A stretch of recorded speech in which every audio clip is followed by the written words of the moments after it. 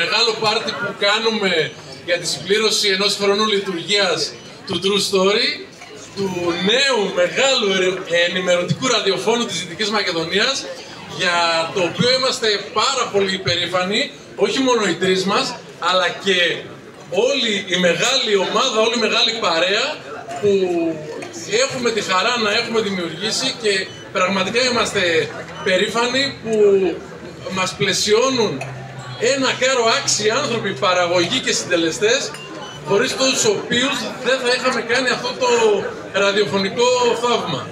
Ε, για αυτές τις ε, επιτυχίες που αναγράφονται και ποσοτικοποιούνται στο φυλάδιο που κρατάτε στο τραπέζι σας και διαβάζετε, ε, έχει γίνει πάρα πολλή δουλειά και γι' αυτό ευχαριστούμε όλους τους παραγωγούς μας ε, οι οποίοι πραγματικά έχουν δώσει τα πάντα και όλους τους συντελεστές ακόμα και στο τεχνικό επίπεδο που έχει γίνει μια πάρα πολύ δύσκολη παιδιά δουλειά που δεν φαίνεται.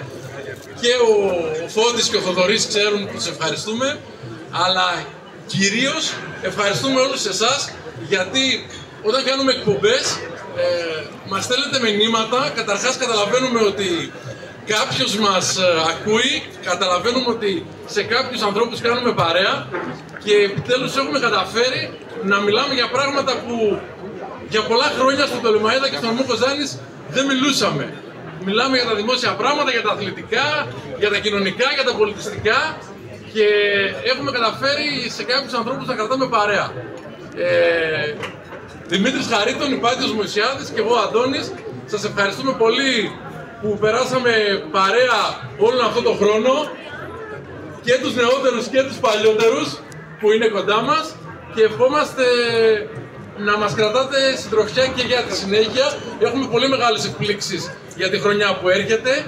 Ένα πολύ πολύ ζωντανό και ζωηρό γεμάτο πρόγραμμα για την δεύτερη σεζόν. Ε, υποσχόμαστε να κάνουμε ό,τι μπορούμε. Σας ευχαριστούμε που είστε εδώ και μας τιμάτε με την παρουσία σας. Κυρίως είμαστε εδώ για να περάσουμε καλά αφού σβήσουμε την τούρτα. Ε, ευχαριστώ, ευχαριστώ, ευχαριστώ. Ο επόμενος έχει τον λόγο.